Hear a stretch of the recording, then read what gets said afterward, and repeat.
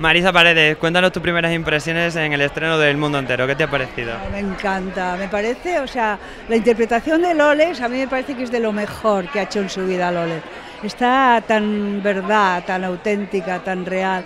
Yo además conocía el personaje que ella interpreta y vamos, la clava, o sea, pero clavarla, además con todo su alma, con toda su emoción, con todos verdaderamente ha habido momentos ¿no? que la veía yo, la señora, pero la veía, o sea, era algo de decir, bueno, ¿cómo ha podido captarla de esa manera sin haberla conocido? Pues yo la conocía.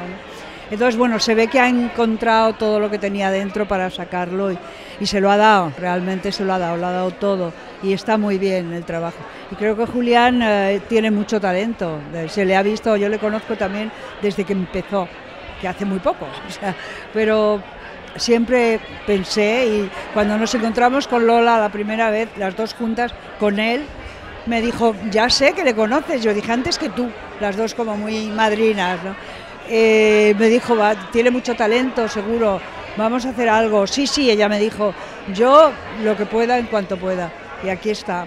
Ah, es una estupenda película y bueno, tiene que ver más gente, ¿no? Lo digo, lo digo. El mundo entero con Loles León y dirigido por Julián Quintanilla. ¿Sí? Os esperamos.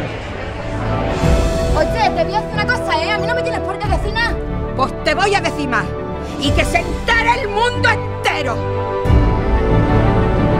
Ay, Julito. Ay, Julito, cariño mío. Que ya sé lo que te voy a pedir para este año.